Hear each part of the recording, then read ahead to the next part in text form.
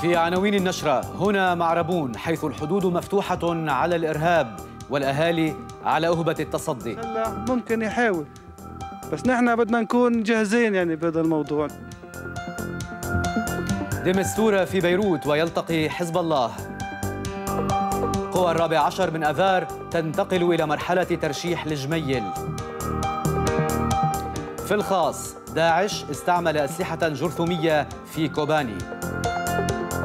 بكل تأكيد هذه الآثار تدل على أن داعش استخدمت أسلحة غير تقليدية.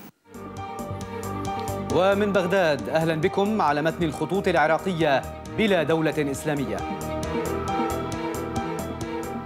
عندنا ما يقارب من 24 إلى 30 إلى 32 رحلة يومياً.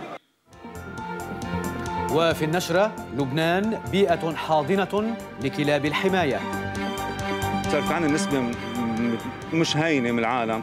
بلشت تنتبه للكلب بلش توعى له للكلب تعرف شو أهميته. تفاصيل هذه العناوين وغيرها من الأخبار ترقبوها في النشرة بعد قليل.